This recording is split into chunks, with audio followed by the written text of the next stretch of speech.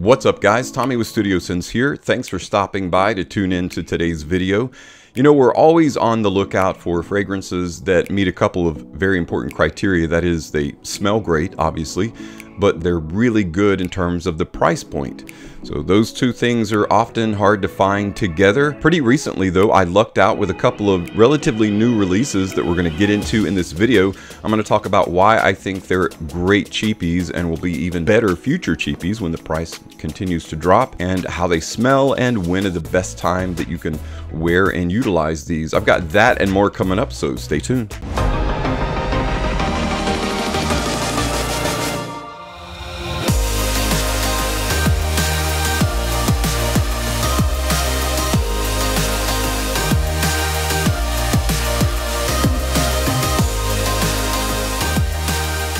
Welcome back everyone. Uh, today we're going to be talking about a couple of great cheapies, the two fragrances that were relatively recently released. The first one is a Hugo Boss fragrance.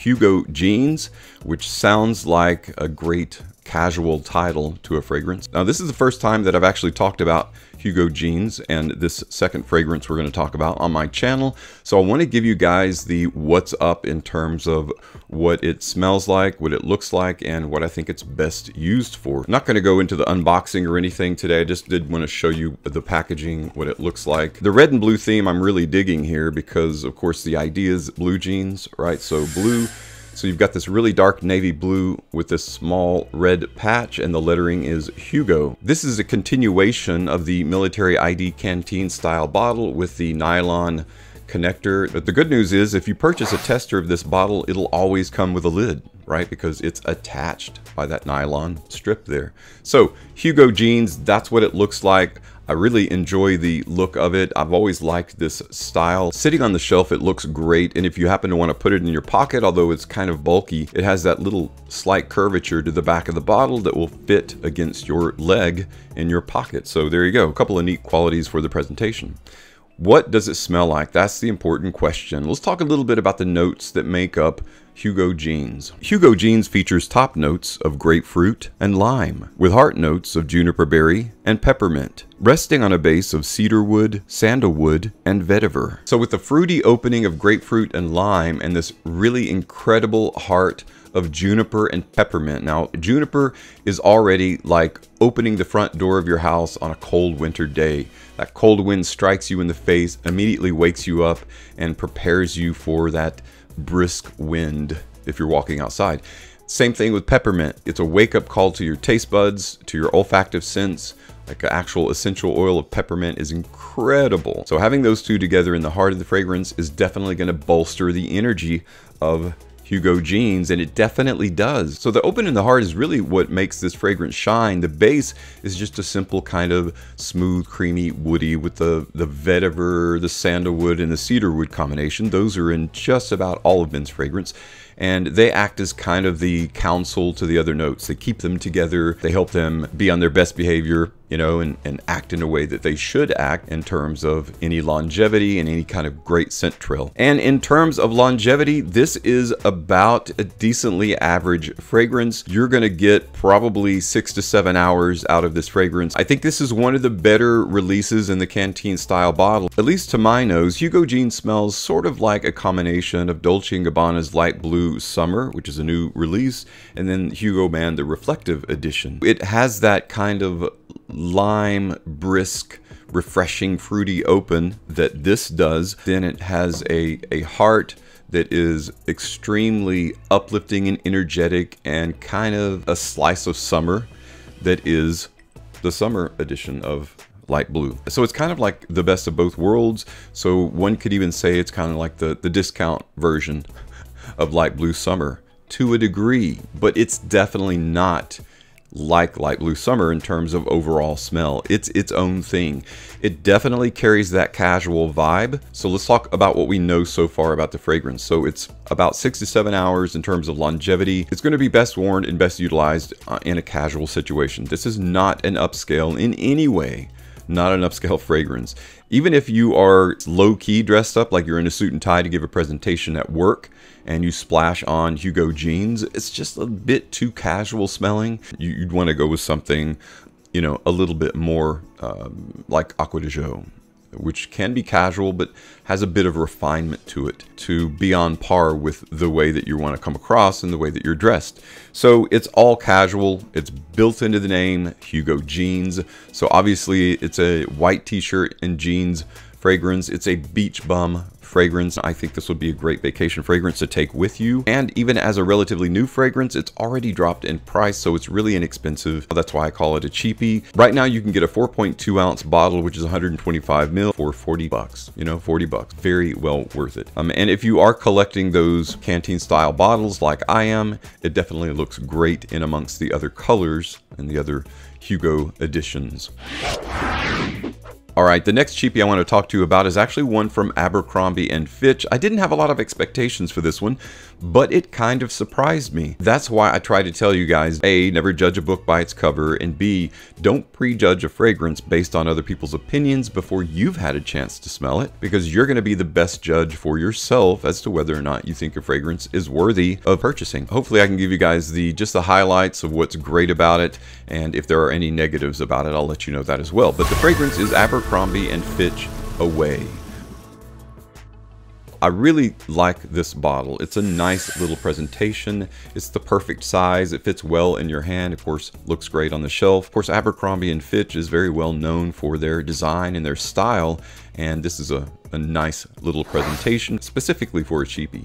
So we know it looks good. What does it smell like? And what are the notes that make up Abercrombie & Fitch Away. Abercrombie & Fitch Away features top notes of pineapple, grapefruit, and violet leaf, with heart notes of ginger, white pepper, and Egyptian geranium, resting on a base of blonde woods, Haitian vetiver, and amber. So instead of having water aroma chemicals like calone or others, this is taking sort of the Acqua di Gio approach. It's taking fresh, notes, fragrant notes, combining them to give the impression of aquatic. And I do have an example of a fragrance that this smells a little bit alike, but I actually like this better. And that might surprise you because many people are giving kudos to this particular fragrance, which is also an aquatic fragrance. I'm gonna give you kind of an example of how it sprays. Of course, you have to bend this down.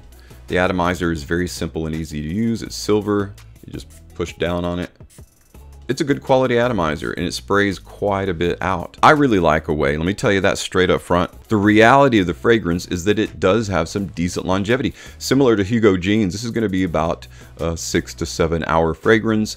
In terms of strength and ebullience, the fragrance bubble that it creates, that I think is a bit weaker. And I think that's what's causing some people not to like the fragrance. But it smells great. And in fact, the fragrance I'm, I'm going to compare it to, and actually I like it better than this one, is a Jimmy Choo fragrance. It's Jimmy Choo Aqua. When this first came out, I had my doubts about it, but I wore it, smelled it. I actually really like it, and I think it's a great cheapie now that the price has dropped. Hopefully it will continue to drop. But Jimmy Choo Aqua is a great aquatic fragrance, and this smells very similar, but I actually like the open. So we've got a lot of things going on here in the fragrance. Pineapple and grapefruit, but then you get a little bit of a violet that gives that open a bit of an edge. And I really like what violet leaf does for this. It adds a bit of green, which kind of spruces up the, the fruit. It makes the fruit feel like it's going somewhere instead of just this hits here and then gone, which is most fruit notes. You've got ginger and pepper to add volume. You've got geranium, which gives it density. What makes this a good lighter fragrance is that blonde woods, a little bit of vetiver, and of course amber. Amber is just there as a nice fixative in the base. Necessarily you can't pick out the amber, but you can pick out this light woody base that goes perfectly with the aquatic theme, and that's why I really like Abercrombie & Fitch Away. Now, unlike Hugo Jeans, this is a 100 ml bottle, or 3.4 fluid ounce, and you can get a 100 ml bottle for about 42 bucks on fragrancenet.com.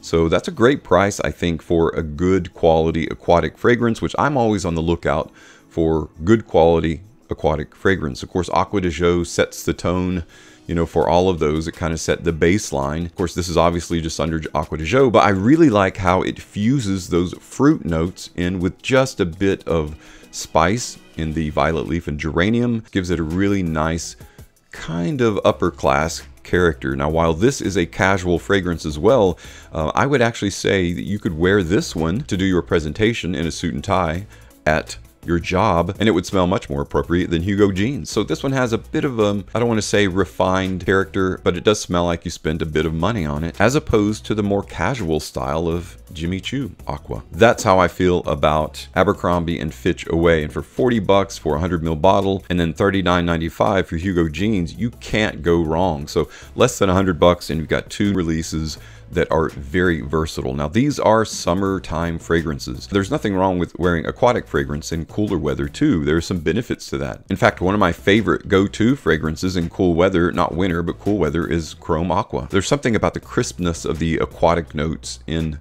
Chrome Aqua uh, and vis-a-vis away that, that's great for cooler weather. Uh, but also summertime fare all summer long. High heat fragrances these both make high heat fragrances very lightly sweet around the edges but not even perceptible. And that's what makes them great high heat fragrances as well and makes them super versatile. So there you go guys. Two new fragrances you can add to your cheapy list or your summertime rotation. I'm always on the lookout for new summertime fragrances that can be somewhat of a hidden gem. Straight up, these are the perfect cheapy fragrances in terms of price and in terms of versatility. So when you can, definitely check out Hugo Jeans and Abercrombie & Fitch Away.